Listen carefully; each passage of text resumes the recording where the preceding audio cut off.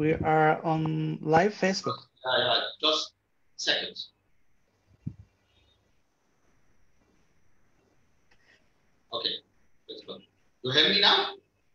Hear me? Yeah? Yeah, that's, that's, it's better. It's better than now. Okay, okay. Uh, okay, I will introduce uh, you, dear professor, and then uh, we, we can start now. Uh, we are lucky to uh, to have uh, in this episode today uh, our professor and, and my friend, Professor Dr. Tolga, is associate professor of anesthesiology and also a diagnostic and interventional MSK sonographer. He's well known, reputable, and one of the uh, eminent one that took uh, I think when you say him on the stage in any conference and any meetings, he's amazing.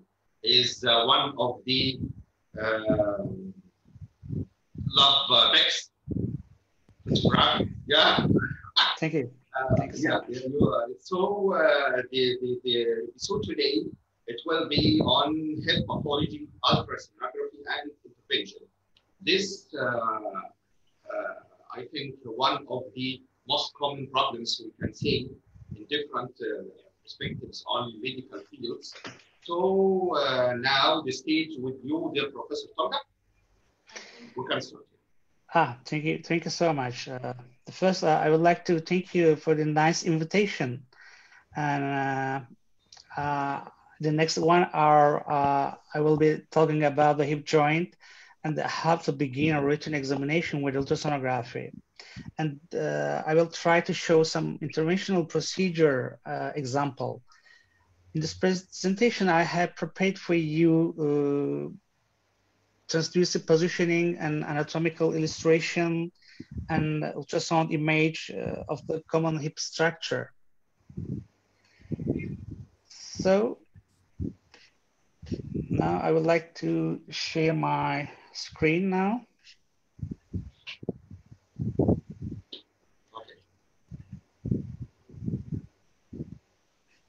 Okay.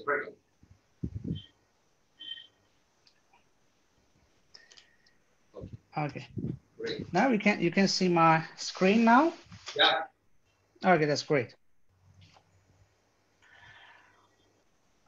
Uh, I would like to disclosure about something. I have no, nothing to disclose or financial interest. Uh, I'm a founder of Akaza Pain Center.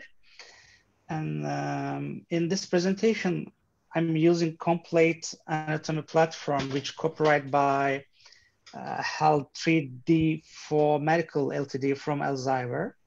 Uh, I have an educator license uh, about this uh, platform. This is my educator license. So uh, when when we have the educator license of this uh, application, we can use our presentation. Once again, uh, welcome to the, my presentation. Ultrasound machine, you, you know, gonna be smaller and uh, smarter than past all these three machines I use in my daily practice. When we talk about the hip joint ultrasonography, uh, it would it would be best to begin by talking about the anatomy and the sonoanatomy of the hip joint. You know, sonoanatomy uh, is totally different than classical anatomy. Uh, you have to know uh, the differences. Let's start the position of the patient the, during the examination of the hip joint. For the, for the best view of the sonogram, the patient's position is very important. The patient position should be changed in which compartment they want to examine. There are four compartments at the hip joint when are examining with ultrasonography. Anterior, posterior, lateral, medial, uh, there is a four compartment. Some of authors say window. I'm calling that compartment. It's, it's, it's not matter. What, do you want to choose, compartment or window? It's not important. For imagining the anterior compartment uh, of the hip joint, the patient lies supine on the examination bed with the lower limbs in extension and mild external rotation. For the medial compartment, mild hip and knee flexion with the external rotation and the abduction of the femur might be necessary. It's like a figure of four position. For the lateral compartment, the patient lies supine or in contralateral decubitus position. I prefer usually contralateral decubitus position for examining lateral uh, hip joint. For the posterior compartment, of sure the patient lie the prone position and the legs in extension position. Another important issue, uh, choosing the transducer.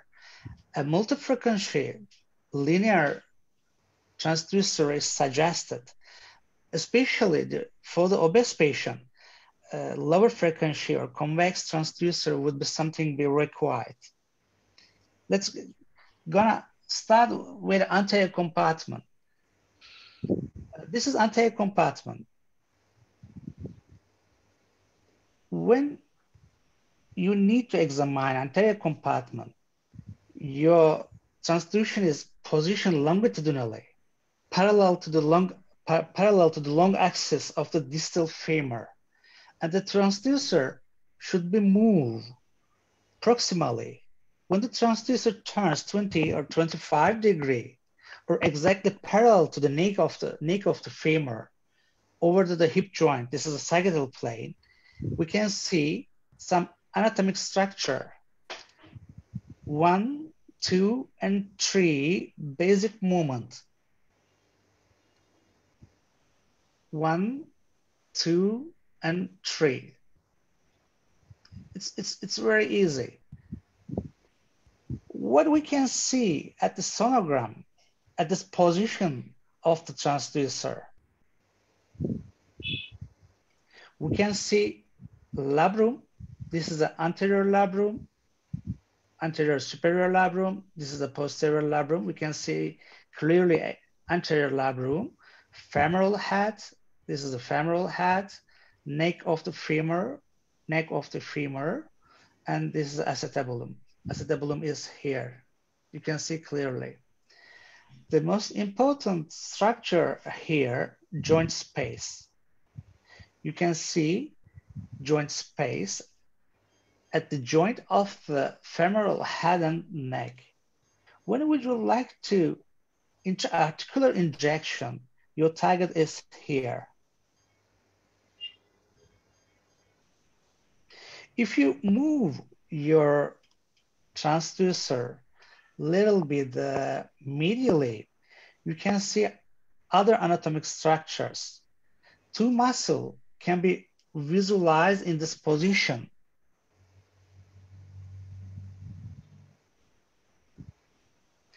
One of the muscle is psoas muscle, and one of is iliacus muscle. In this view, you can see labrum, and acetabulum as well. Labrum.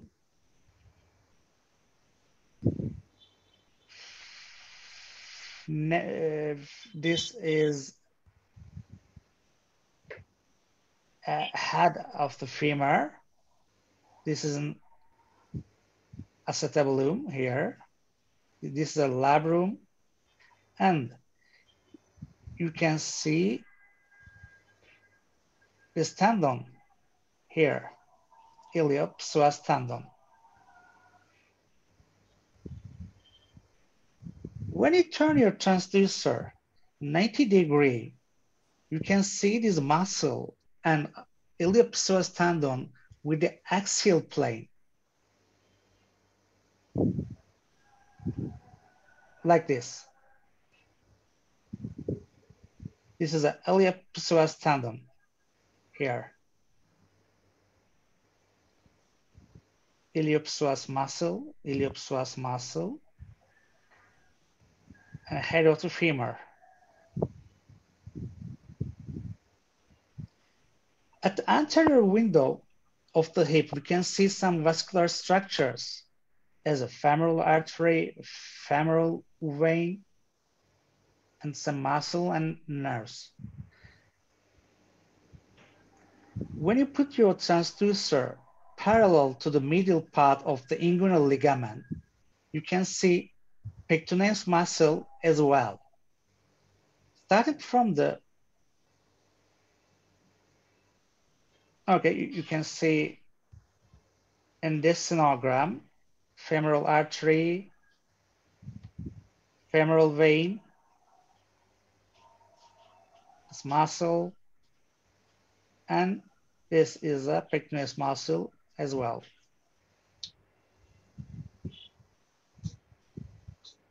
And starting from the anterior superior iliac spine, the proposition is parallel to the alignment of the inguinal ligament. You can see, you can see the tensor fascia lata and the sartorius muscle. This is a sartorius muscle, and this is a tensor fascia lata anterior superior iliac spine acoustic shadow here. And the lateral side, you can see tensor fascia lata. And the medial side, you can see clearly the sartorius muscle.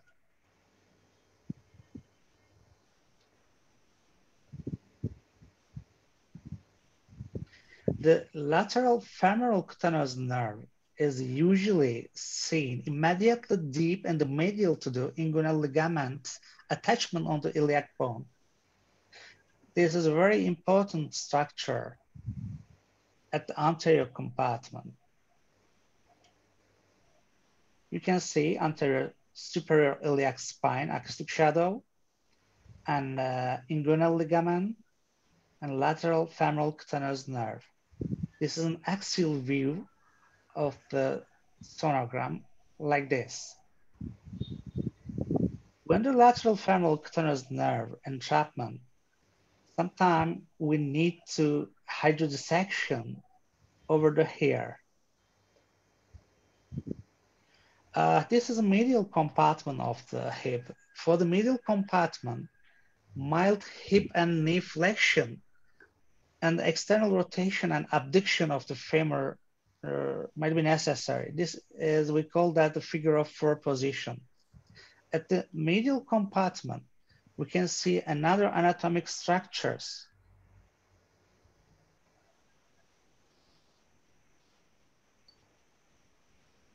such a pectineus muscle, adductor longus muscle, and gracilis muscle, adductor longus muscle, and adductor brevis. You can see other muscle, adductor magnus muscle is the deepest.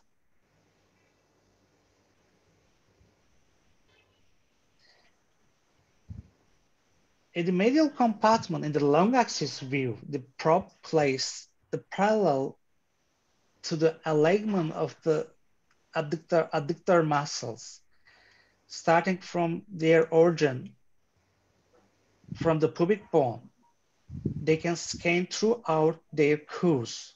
If you put at the if you put at the origin side, the origin side, the muscle, you can see this wave.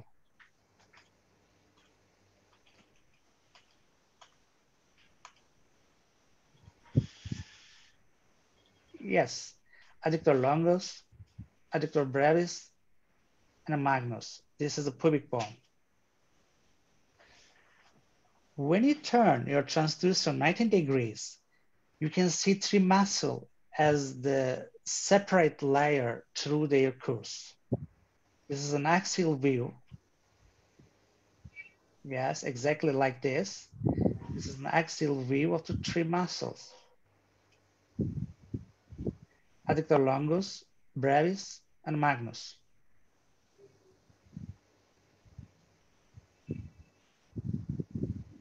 The lateral compartment, the transducer, can be positioned axially uh, on the greater trochanter, at the level of the greater trochanter.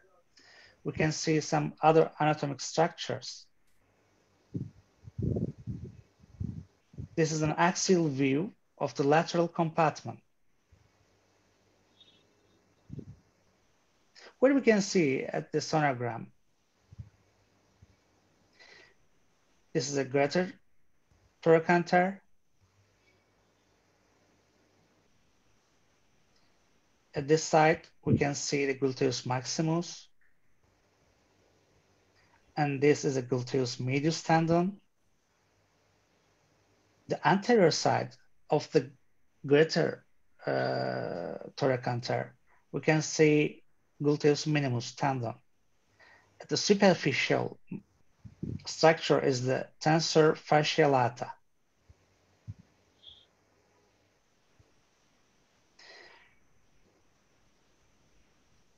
You can see greater trochanter, anterior side, gluteus minimus tendon, posterior side, gluteus maximus, and see gluteus medius tendon.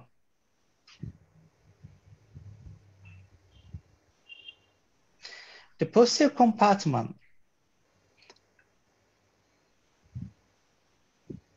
at the hip joint, you can see lots of anatomic structure which are very important.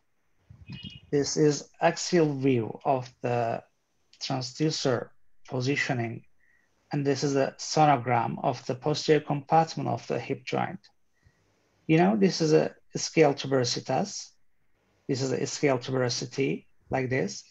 And the most superficial muscle is the gluteus maximus muscle.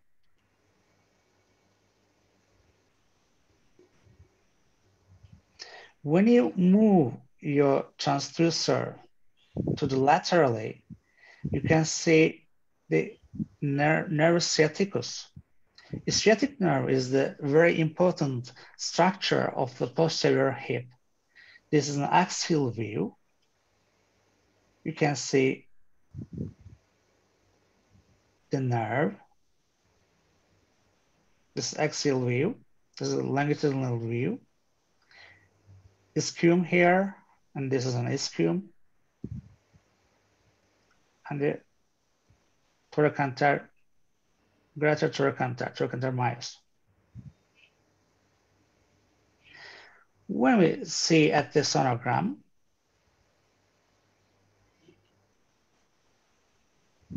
this is the gluteus maximus, most superficial muscle, and sciatic nerve, femur, greater trochanter, ischium tuberositas. So uh, I, I would like to talk about some intervention uh, in my daily practice I'm usually use uh, in my clinic. The intra-articular joint injection of the hip. I would like to prefer this transducer position. It's exactly parallel to the neck of the femur. And I would like to use my needle with an in-plane approach. So when you use your needle exactly parallel to your transducer, we call that uh, in-plane axis. When you use in-plane axis, you can see all body of the needle, point of the needle, end of the needle, and the shaft of the needle. You can see all of the needle. And intraarticular injection, when we, we like to do intraarticular injection of the hip joint, this is a basic approach of the injection. It's very easy and useful. The target point is the joint of the neck of the femur and the head of the femur. This is a good target of the intraarticular injection. What do you, what do you want to inject? You, you can inject local anesthetic agent, ozone, or steroid agent, or PRP. This is a transducer position and the needle position. When you put into the capsule your local anesthetic agent or something else, you can see clearly extend of the joint capsule.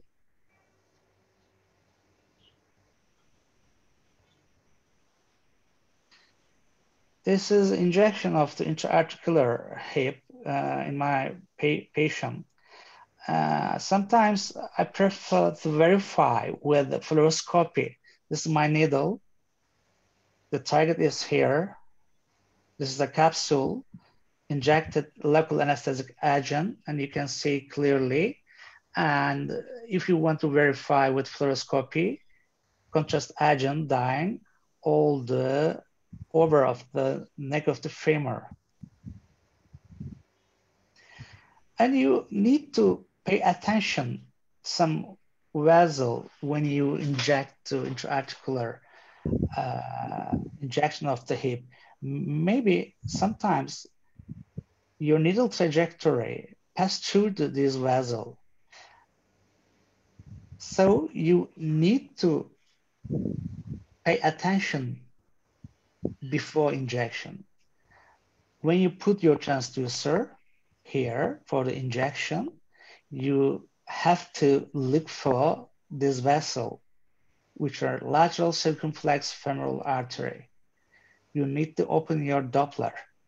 And sometimes you can't see, and sometimes you can see this mass, uh, you can see this vessel. So you have to change your trajectory of the needle.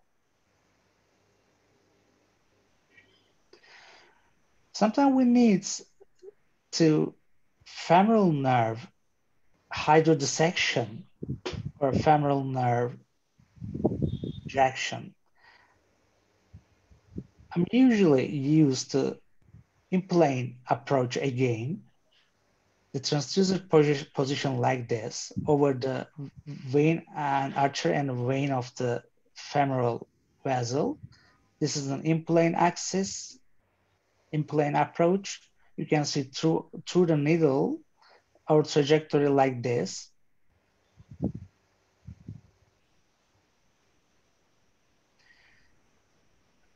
As I say to you, adductor tendon joint, the always the pelvis bone. And sometimes we need adductor tendon injection. At this approach is in plane approach. You can see through the needle, longus, brevis, and the magnus muscles here. The injection site here.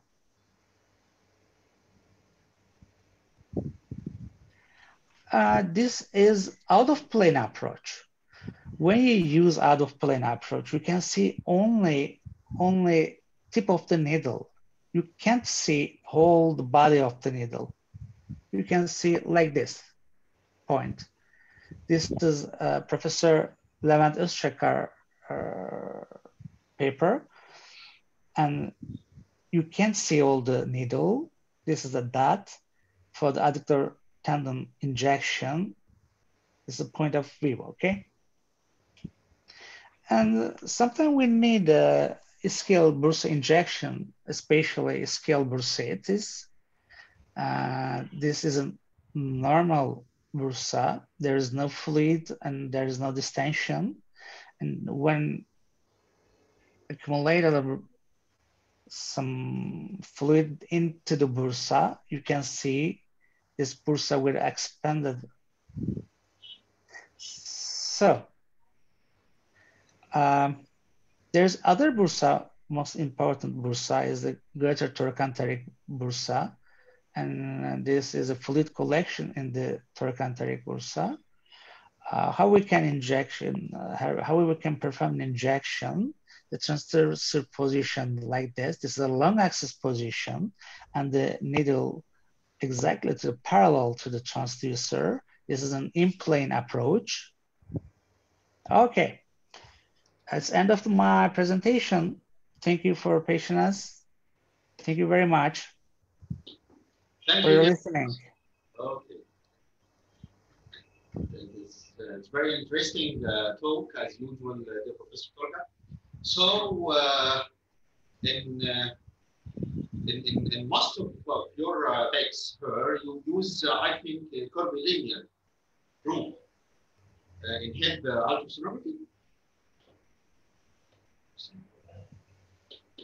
Oh. Tolga, you hear me? Sorry. Uh, You hear me? Yeah, okay.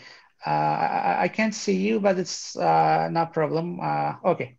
Okay, I, I'm, I'm, I'm, I'm, he I'm hearing you. Okay. Ah, okay. Uh, my, my, my first question is, uh, is preferable to do scanning for hip using linear or curvilinear. Okay. I hear it, but it's very, very, very uh, distortion. Please repeat again. What, Sorry. What, what, about this?